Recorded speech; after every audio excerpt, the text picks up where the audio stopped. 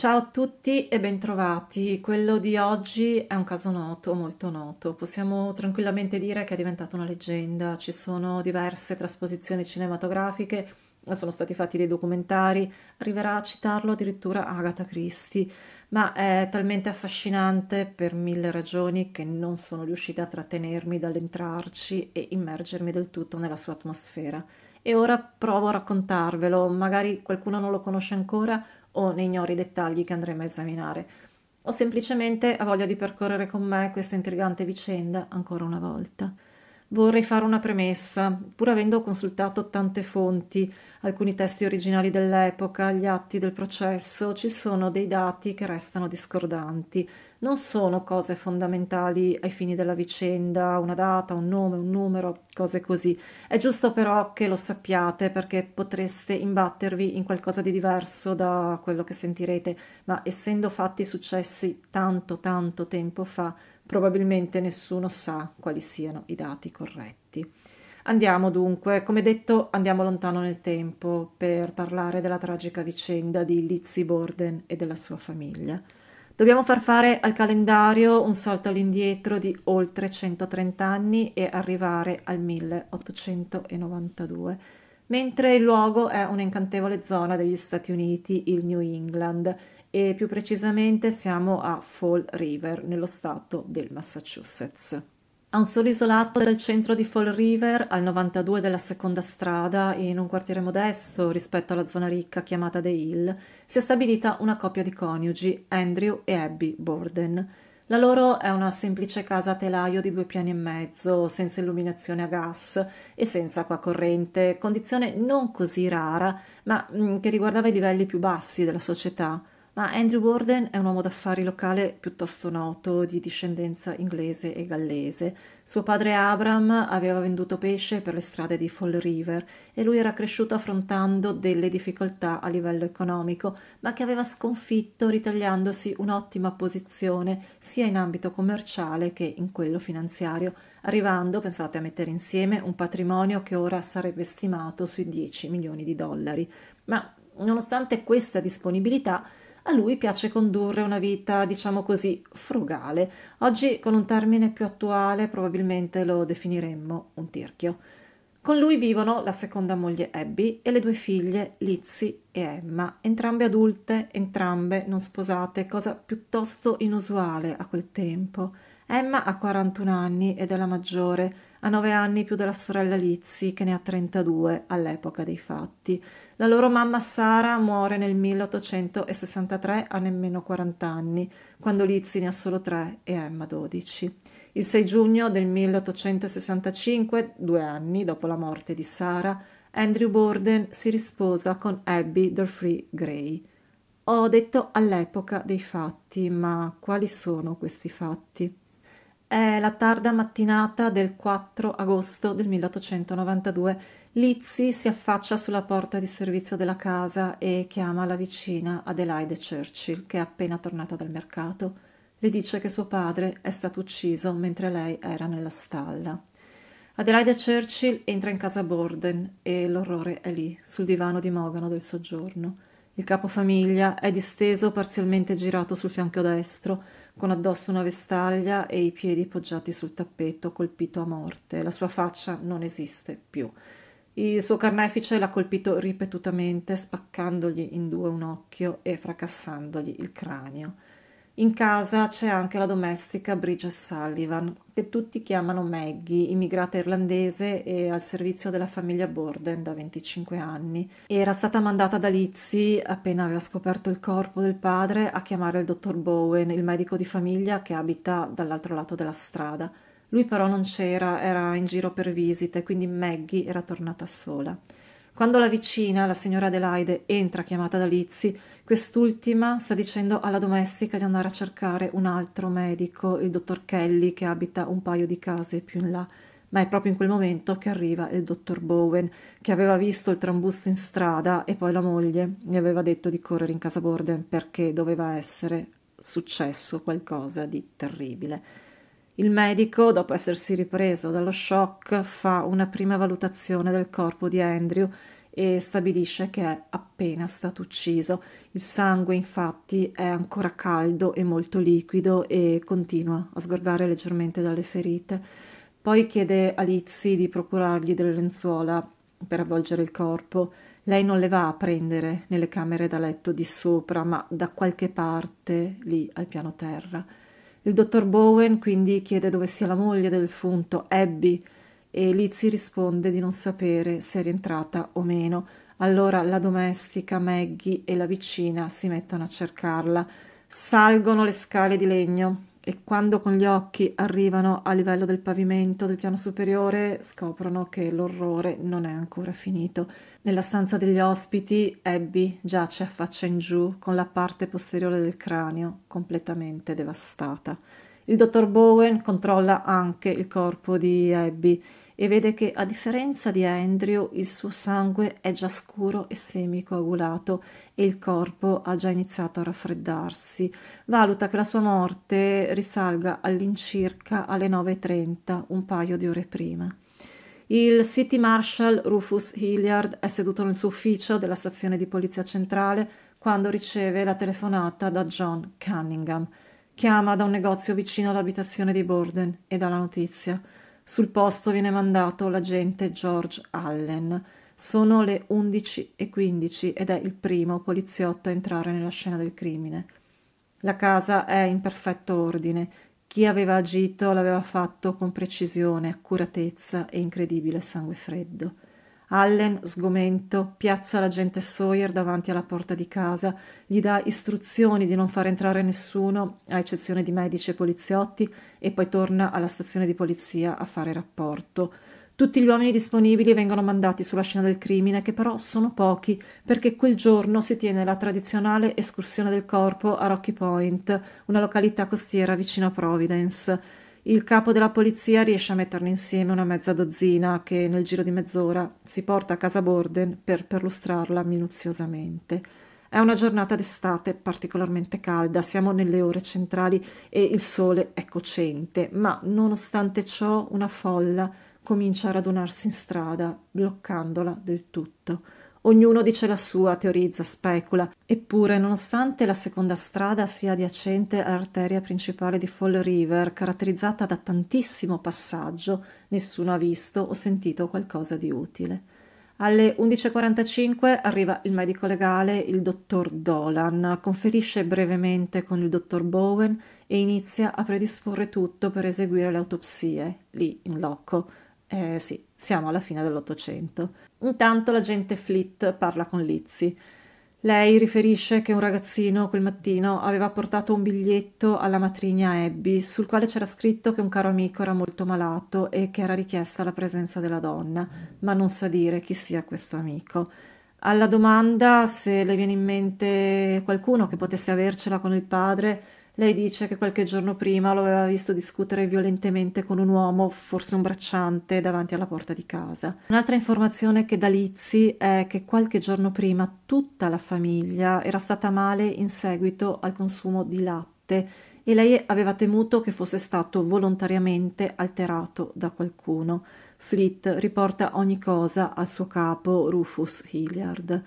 Intanto viene accertato che le due porte principali dell'abitazione, quella frontestrada e quella posteriore sono chiuse a chiave dall'interno, abitudine consolidata dopo un recente furto. Quindi l'unica porta accessibile all'assassino era quella laterale, la stessa da dove si era affacciata Lizzie per chiamare la vicina.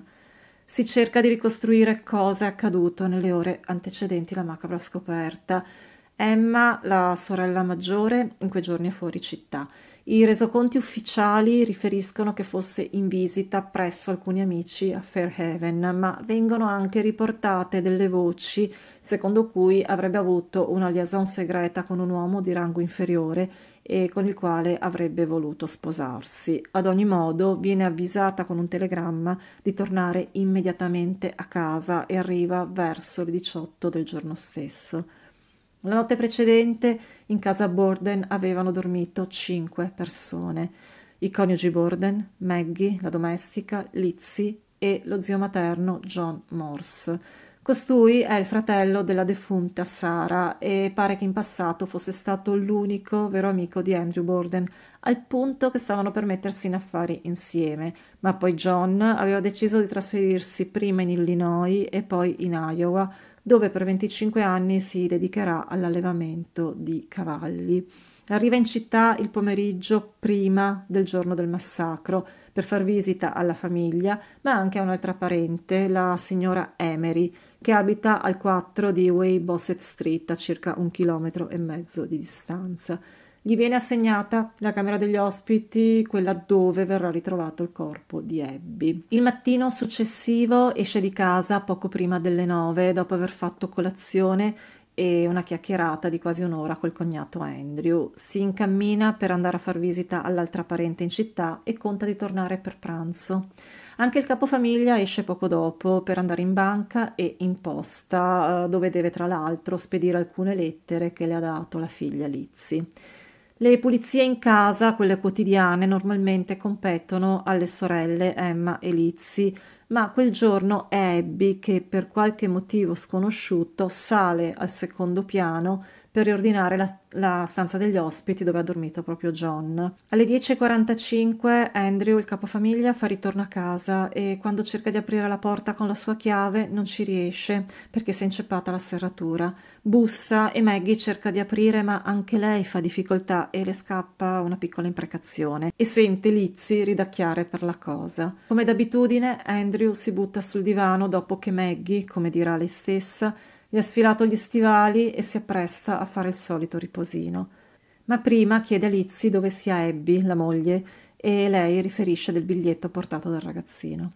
Poco dopo Maggie, la domestica, è al terzo piano della casa a pulire i vetri e sente la voce di Lizzie che la chiama, le dice di scendere velocemente perché il padre era morto.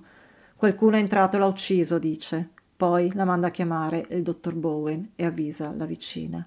E torniamo così al medico legale che stava predisponendo l'autopsia dei corpi. La esegue nel primo pomeriggio sul tavolo del soggiorno di casa Borden. A Andrew Borden sono stati inflitti 13 violenti colpi, tutti concentrati sulla zona della testa. L'arma del delitto doveva avere una lama molto affilata e essere lunga circa 13 cm. Gli era stato spaccato un occhio e distrutta la mascella. I colpi riservati alla signora Abby sono 19, 18 alla testa e uno tra le scapole. L'arma era affondata per oltre 10 centimetri.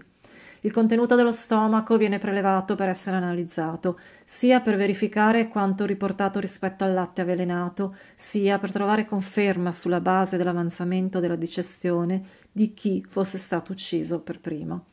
Terminato il lavoro del medico legale, i corpi vengono affidati al signor Winward, il becchino della città.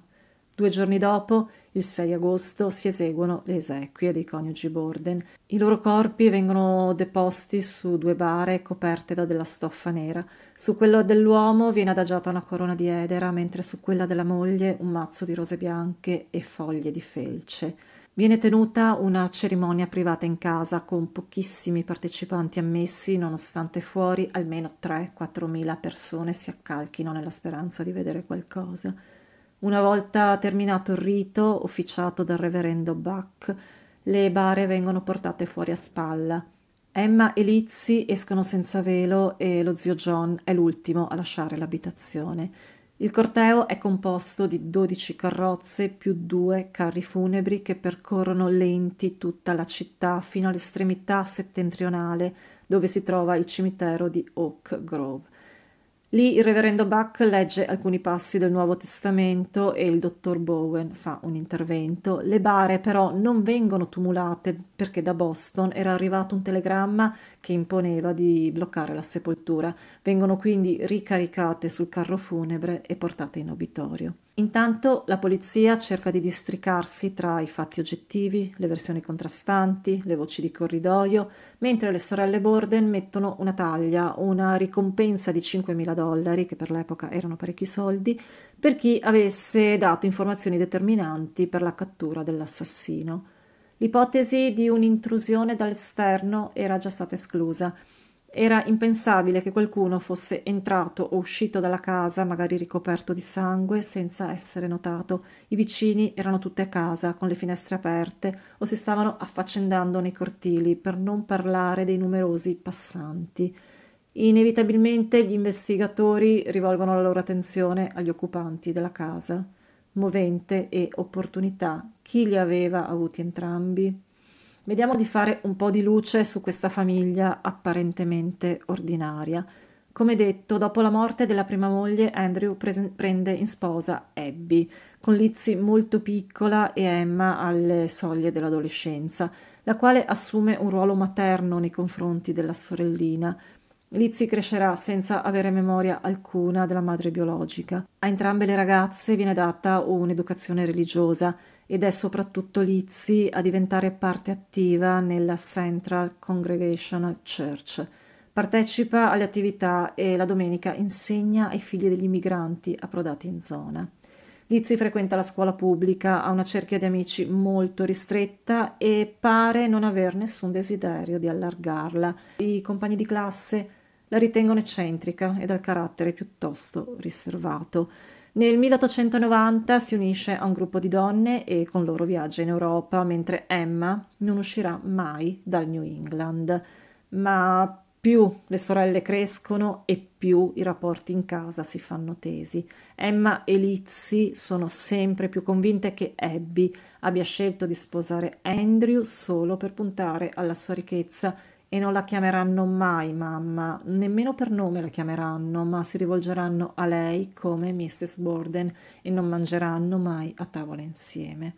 Ma chi vive peggio la situazione è Lizzie, perché Emma è più accomodante, tutto sommato è soddisfatta della vita che conduce, certo, non disdognerebbe una casa più confortevole e qualche soldo in più, ma in un modo o nell'altro se la fa andare bene, mentre la sorella minore è irrequieta, vorrebbe abitare nel quartiere ricco della città e potersi permettere molto di più nella vita, ed è proprio su di lei che si concentrano le attenzioni della polizia, movente e opportunità. Emergono poi altri elementi. Negli ultimi mesi la tensione in casa Borden aveva toccato il punto più alto quando il capofamiglia era intervenuto per salvare la situazione economica di alcuni parenti di Abby e nello specifico aveva acquistato una proprietà da donare al fratellastro della moglie dopo averla intestata a lei. Le sorelle in cambio avevano preteso di avere la proprietà della fattoria di Ferry Street dove erano nate e dove avevano vissuto fino alla morte della madre biologica. La casa aveva due inquilini in affitto, ma era vecchia e necessitava di continuo di costosa manutenzione e così le sorelle, non essendo in grado di mantenerla, sono state costrette poi a rivenderla al padre. Le tensioni crescono così tanto che Emma e Lizzie a luglio di quell'anno decidono di allontanarsi da casa per un po' e passare del tempo a New Bedford, una località balneare dello Stato. A loro ritorno, Lizzie decide di restare per alcuni giorni in una pensione della città e fa ritorno a casa solo quattro giorni prima dell'assassinio. Allo zio John Morse viene chiesto di fermarsi a casa Borden sia per aiutarli a derimere quelle fastidiose controversie finanziarie, ma anche per assisterli in seguito alla brutta infezione contratta dalla famiglia, forse a causa di quel latte alterato di cui parlavamo.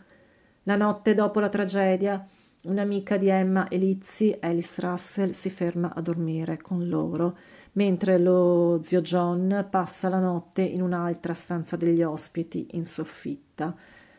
La sera del 5 agosto, il giorno dopo il duplice omicidio, Lizzie scopre di essere entrata nel mirino degli inquirenti e il giorno successivo è quello dei funerali.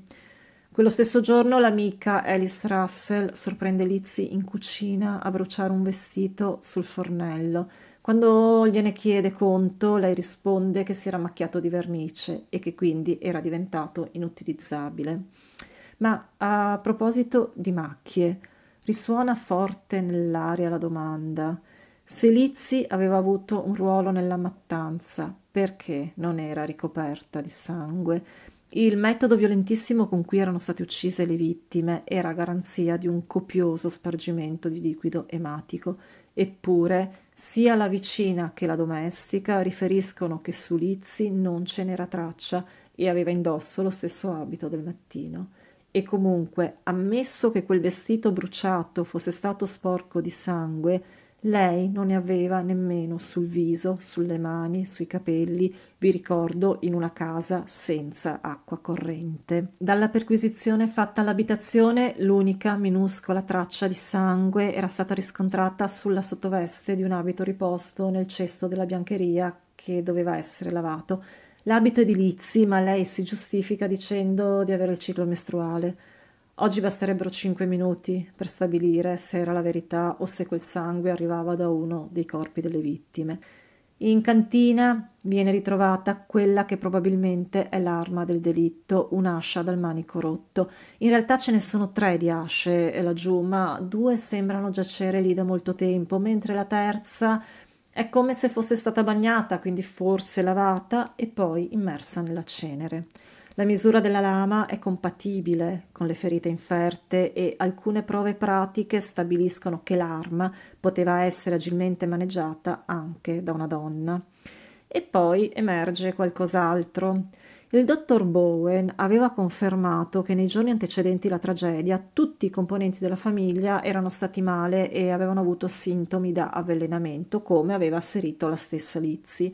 Per provare a far luce rispetto a questa storia, il capo della polizia manda un paio di agenti a fare qualche domanda presso le farmacie della città, sperando di risalire a qualcuno che avesse acquistato del veleno e quando arrivano a quella del dottor Smith, all'incrocio tra la Main e la Columbia Street, fanno una scoperta agghiacciante. Il commesso Eli Benz riferisce che il mercoledì prima degli omicidi una giovane donna aveva provato ad acquistare dell'acido cianitrico, un potentissimo veleno che agisce fermando il cuore, dicendo che doveva uccidere le tarme presenti nei suoi mantelli di pelle di foca, lui però, senza ricetta medica, si era rifiutato di venderglielo, tanto più che non aveva mai sentito parlare di tale utilizzo. È buio quando il commesso viene portato dagli agenti davanti casa Borden. Attendono che Lizzie esca e poi lui dice sì, è lei, è lei che mi ha chiesto il veleno. Insomma, la teoria è li voleva avvelenare, ma non essendoci riuscita, ha spaccato loro la testa. A questo aggiungiamo un comportamento di Lizzie dopo la tragedia giudicato fastidioso praticamente da tutti. Lei infatti risulta essere calma, estremamente controllata, ma dipende dal fatto che è lei l'assassina o dalla dose di morfina che le hanno iniettato perché non si agitasse. Ci sono anche delle contraddizioni di cui tener conto da parte sua. Prima dice che stava leggendo una rivista in cucina, poi che stava stirando in soggiorno che non aveva sentito nulla di strano, ma poi che aveva sentito un tonfo. Maggie, la domestica, mentre il padre cercava di farsi aprire per la selatura inceppata, dice di averla sentita ridere da sopra le scale, ma Lizzie nega di essere salita. E a proposito di Maggie, perché ha detto di aver tolto gli stivali al padrone di casa se poi dalle foto della scena del crimine si evince il contrario? Lui da morto gli stivali ce li ha su. Poi, se tra la morte di Andrew e quella di Abby erano passate tra una e due ore, come mai nessuno aveva visto il corpo di, del signor Borden sul divano? La polizia nei giorni successivi alla strage si era mossa in varie direzioni. Era andata fino nel Somerset per interrogare un sospetto che però aveva un alibi più che solido e alla fine per esclusione, senza vere e proprie prove in mano, solo con indizi e possibilità, arrivano a un'unica conclusione. Nessun altro poteva essere stato. Così, alle 16.20 del giorno 11 agosto, una settimana dopo gli omicidi, Lizzie Borden viene arrestata. Viene immediatamente mandato a chiamare l'avvocato Jennings, che le sorelle Borden avevano già contattato nei giorni precedenti per tutelare i loro interessi.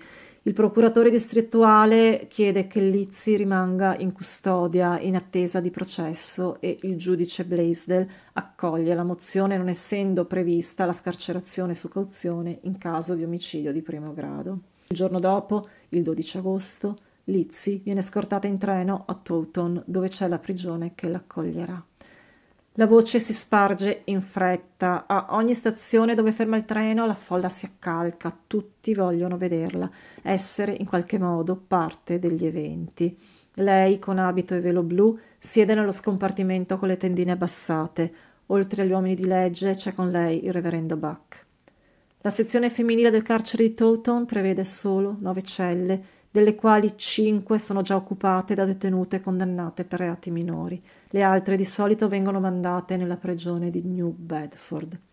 Hilliard, il capo della polizia, affida la prigioniera alle guardie del carcere. Al pastore Buck è concesso di restare ancora un po' con lei e poi la lascia anche lui. Lizzie, dirà, era calma e rassegnata. La sezione femminile è diretta dalla moglie del sindaco di Taunton, Andrew Wright. La famiglia Wright in passato aveva vissuto a Fall River e gli occhi della signora Wright si inumidiscono di lacrime quando riconosce in Lizzie la bambina che un tempo giocava con sua figlia Isabel. La cella è minuscola, due metri per tre circa, e dentro ci sono un letto, una sedia e un catino. Mentre Lizzie conta i minuti passare in quello spazio angusto, fuori c'è un gran fermento e il sentire generale è che una ragazza così per bene, che non ha mai dato segni di squilibrio, che conduceva una vita normalissima senza alcuna macchia, non poteva aver compiuto un'azione così terrificante e fin dai pulpiti durante la messa si prega per lei.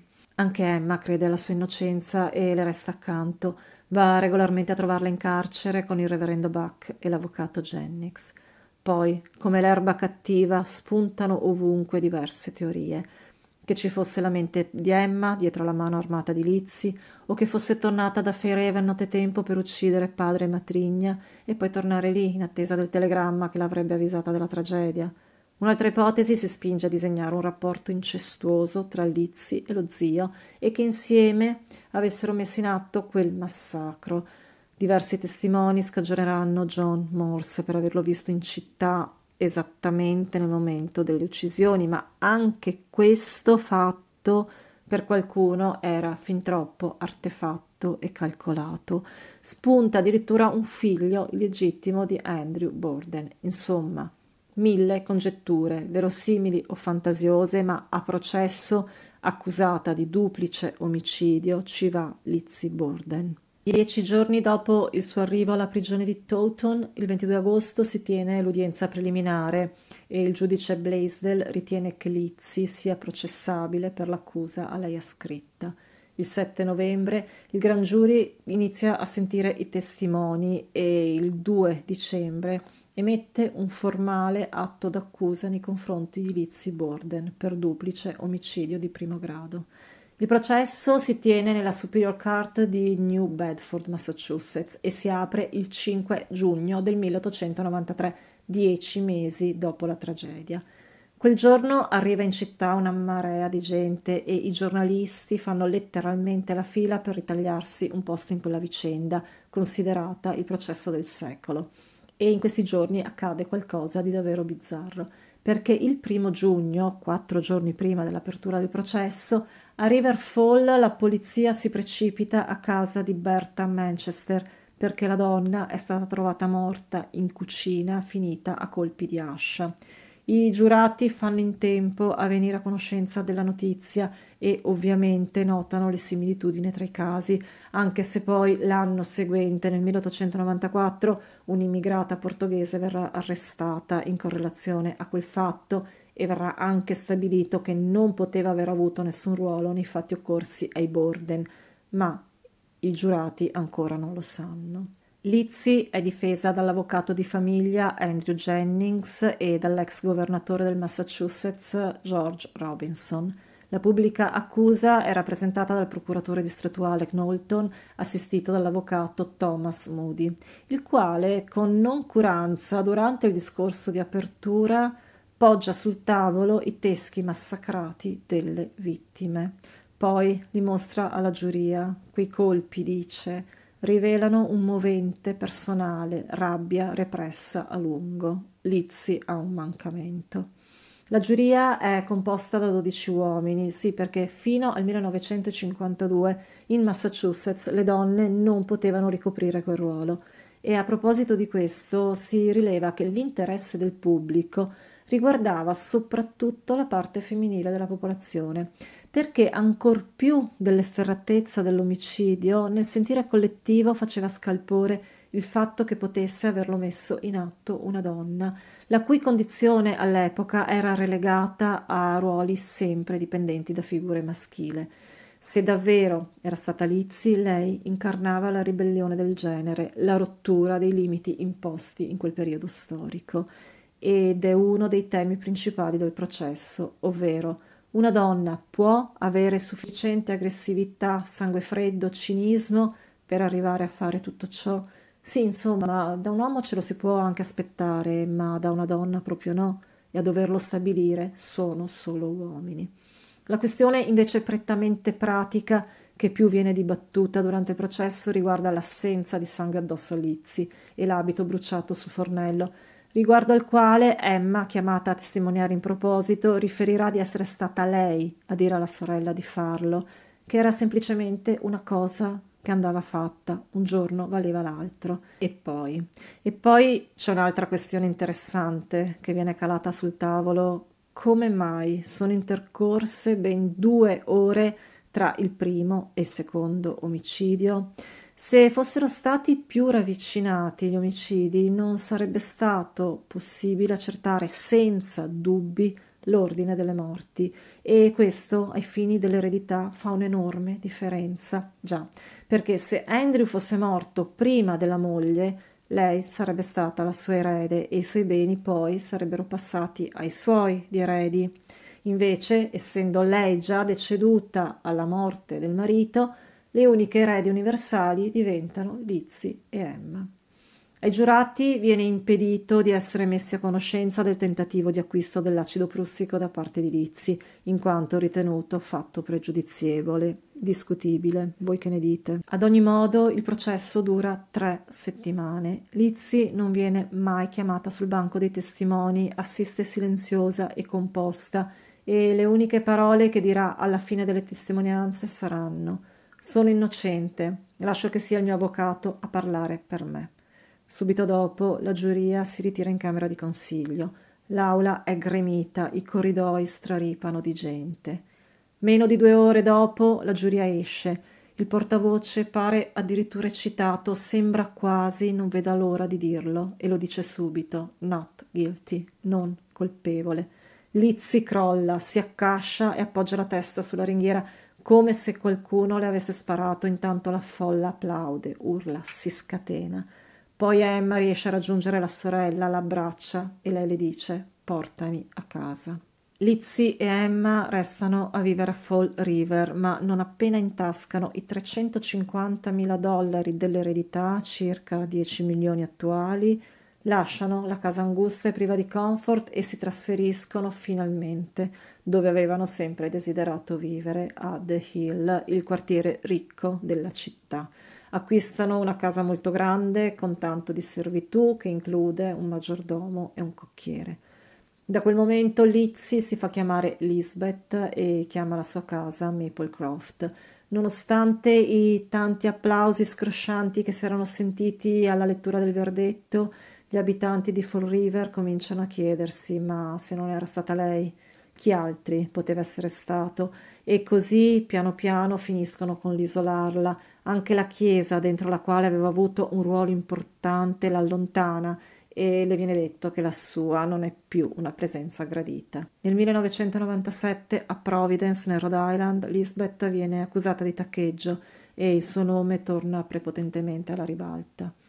Anche la sorella Emma, eh, 12 anni dopo l'assoluzione, nel 1905, le volta le spalle, se ne va di casa e recide tutti i legami con lei. Avviene in occasione di una violenta discussione alla fine di un party che Lisbeth aveva organizzato a Maplecroft per un'attrice, ma pare che Emma già da un po' non si sentisse più a suo agio con la sorella. Nel 1926 a Lizzie viene rimossa la cistifellea e questo la porta a vivere in cattive condizioni di salute per circa un anno e infine muore di polmonite il primo giugno del 1927, poco prima di compiere 67 anni. muore sola, in compagnia solo dei suoi cani. La cosa incredibile è che Emma, stabilitasi nel New Hampshire, muore solo nove giorni dopo la sorella, come se la vita dell'una, anche a distanza, dipendesse dalla vita dell'altra. L'eredità, stimata in valore attuale a quasi 6 milioni di dollari, sarà suddivisa tra beneficenza, lasciti a parenti e amici e una quota consistente viene devoluta alla cura perpetua della tomba del padre Andrew Borden e entrambe le sorelle vengono sepolte nel cimitero di famiglia a Oak Grove, una a fianco all'altra. Di recente la casa teatro degli omicidi è stata venduta per quasi 2 milioni di dollari e oggi è un bed and breakfast. È stata ristrutturata mantenendo lo stile dell'epoca e all'interno, insieme all'arredamento in tutto e per tutto simile a quello di allora, ci sono le foto della tragedia e non solo. Ci sono anche i calchi dei teschi massacrati di Andrew e Abby Borden. Voi che fareste? Ci dormireste là dentro? Con questo video ho concluso. Vi ringrazio per il vostro tempo e spero di ritrovarvi anche al prossimo video. Ciao e grazie.